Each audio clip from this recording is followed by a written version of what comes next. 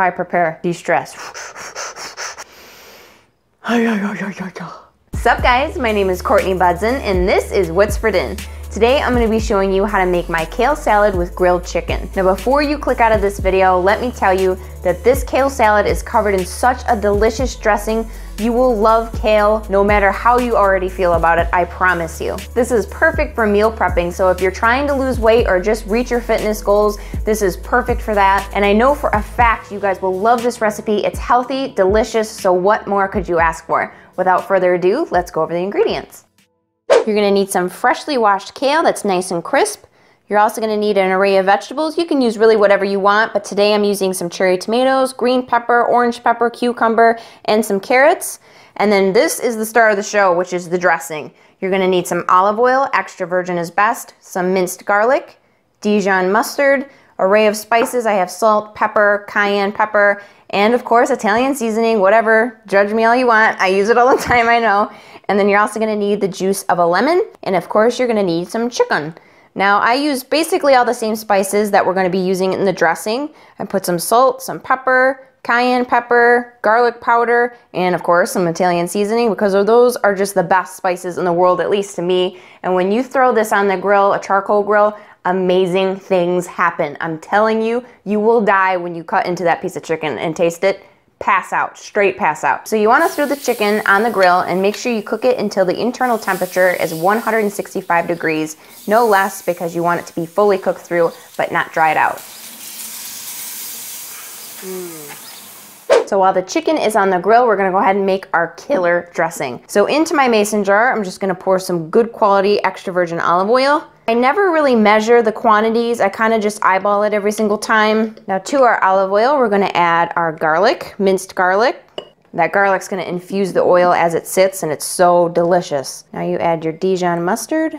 That you're gonna add your spices. I'm gonna get this lemon squeezed. Now you can choose to use way more lemon juice than I do if you really like a lemony flavor. Go ahead and add that in. Now we pop on the lid and shake it like a mad woman. That looks amazing. And it smells amazing. All right, so this looks perfect. We're gonna go ahead and set this aside while we chop up our kale. So when you go to the grocery store, you wanna make sure you're getting really good crisp kale. Touch the leaves with your fingers. They should be stiff and like hard a little bit. You don't want them to be too flimsy and soft because it's just not gonna make a good salad. So I'm gonna show you how to chiffonade this, which means cutting it into small pieces. That way the dressing gets on every last bit. You just roll it really tight. You hold it. Make sure you're tucking your hand, your fingers under so you don't chop them off. Run the knife through and you can see that's a really nice small cut. It's perfect because it gets a little bit more dressing with each and every bite. Instead of it being big pieces, you get very little dressing. So I have my kale nice and chopped up. I'm gonna go ahead and add all my vegetables in. And then to that, we're gonna add the dressing. Now you only add a little bit at a time. You can always add more, but you can never take it away. I like to add a little bit of feta cheese. So you wanna keep folding in that dressing because the kale is kind of bitter. And so when you add the dressing, you're kind of massaging it into the kale so it makes it less bitter and a lot more palatable. So once your chicken comes out, you can go ahead and slice it up. Mmm, oh gosh.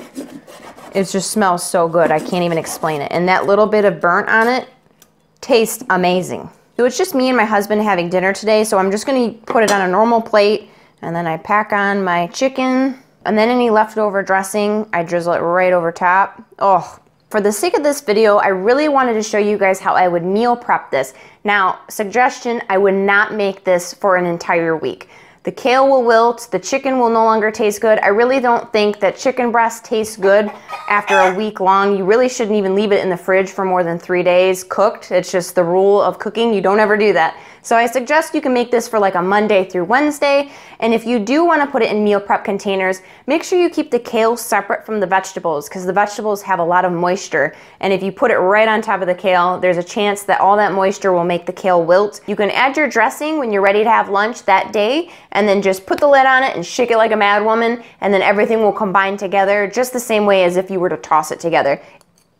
Mmm.